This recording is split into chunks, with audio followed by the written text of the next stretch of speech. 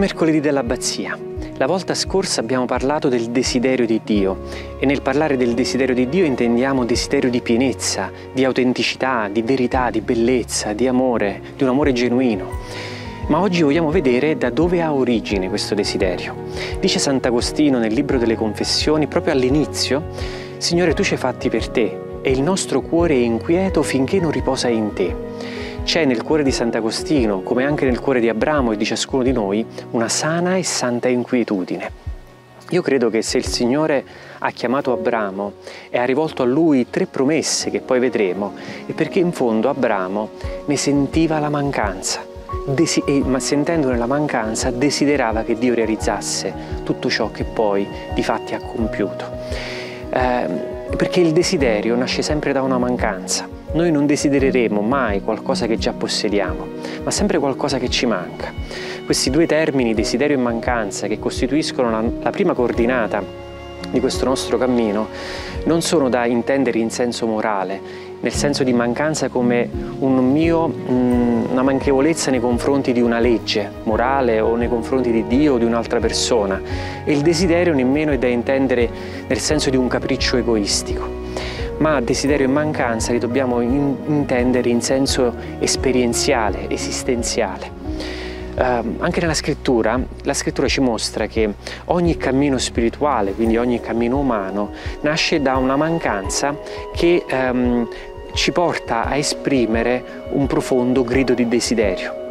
Ad esempio il cammino di Israele eh, nasce dalla percezione viva della, de, di una mancanza. Quale mancanza? La mancanza di libertà dopo 400 anni di schiavitù. Lo vediamo nel libro dell'Esodo, al capitolo 2, versetti 23 e 25. Quando arriva a, a, a, percepire il peso di quella mancanza, ecco che grida a Dio il desiderio di libertà e Dio proprio in quel momento interviene. Ed interviene anche nella vita di Mosè che è un uomo che vive ehm, con un piede in due scarpe. Per metà ebreo, per metà egiziano, nella, nei suoi 80 anni di vita non è riuscito, pur tentandoci, di, a definire eh, se stesso e si trova a vivere esule dalla propria terra in un deserto, in una situazione appunto di, di mancanza, di incompiutezza, di indefinitezza.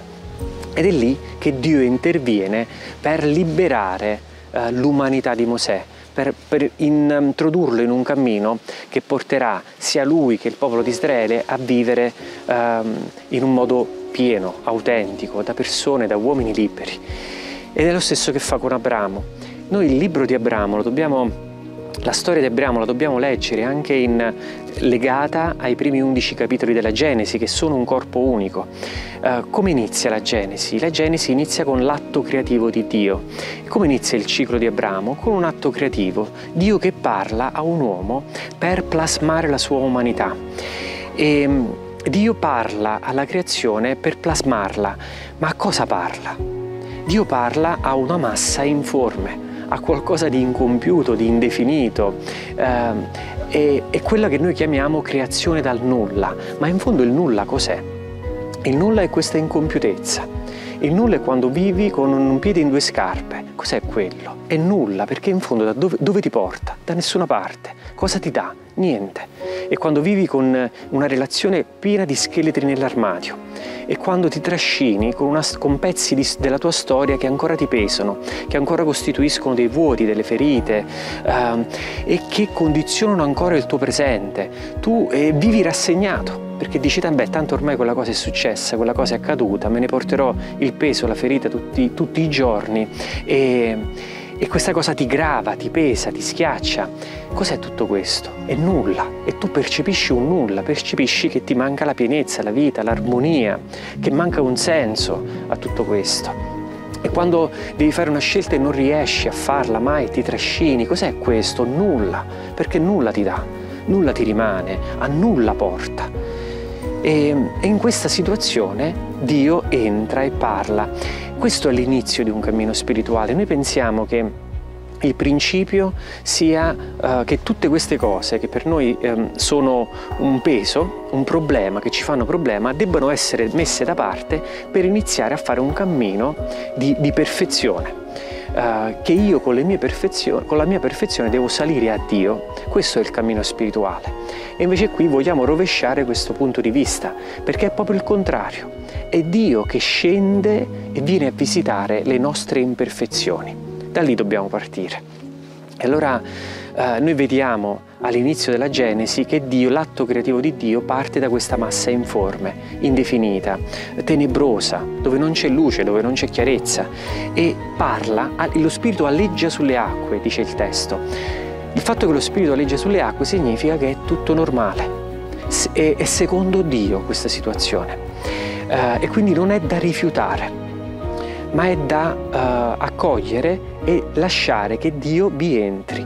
Tant'è che a un certo punto Dio dice sia la luce e luce fu e inizia uh, a mettere ordine, armonia nella creazione. Questo è il dinamismo di un cammino spirituale. Dio entra nelle nostre mancanze con la sua parola e mette ordine. Dio viene a riempire i nostri vuoti. Ecco il principio di un cammino spirituale e, e lo vediamo anche uh, nella, nel, nell'incontro, nella chiamata dei primi discepoli, al capitolo 5 del Vangelo di Luca, i primi 11 versetti. Noi vediamo un Pietro che ha, dopo aver pescato tutta la notte, ha le reti vuote. E uh, a un certo punto dice, Gesù lo invita a pescare nuovamente di giorno e dice, Signore, abbiamo, abbiamo faticato tutta la notte e non abbiamo preso nulla, ancora questo termine che ritorna, ma sulla tua parola getterò le reti. Lo fece e le, eh, la pesca fu miracolosa, le, le reti si riempirono. È questo l'inizio di un cammino.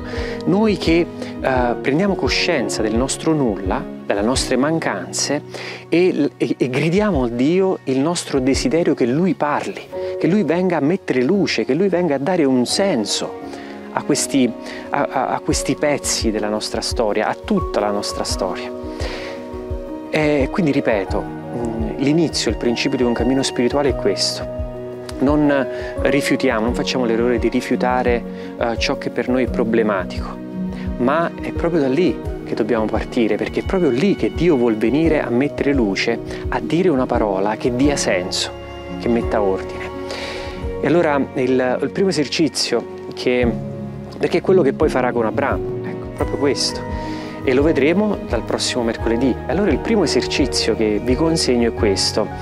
Pensate a ciò che per voi è una mancanza, a ciò che vi fa problema nelle vostre relazioni, nella vostra storia personale, in ciò che magari avete detto, beh, qui non c'è niente da fare, cioè sta cosa è così ed è irrisolvibile, è, uh, non ci sarà mai luce su questo pezzo della mia storia. Ecco, scrivilo, magari sarà una, due, tre mancanze um, e poi ti conservi questo fogliettino nel portafoglio e lo porti con te, ogni tanto lo rileggi, magari ti verrà da cambiare qualcosa, lo sistemi, uh, aggiungi qualcosa di nuovo, uh, però te lo, lo, conservi. E al tempo stesso uh, questa mancanza libera un grido di desiderio. Grida a Dio il tuo desiderio che Lui parli Dio vieni a parlare perché la tua parola, dice un salmo, è lampada ai miei passi, illumina il mio cammino, dà senso alla mia storia.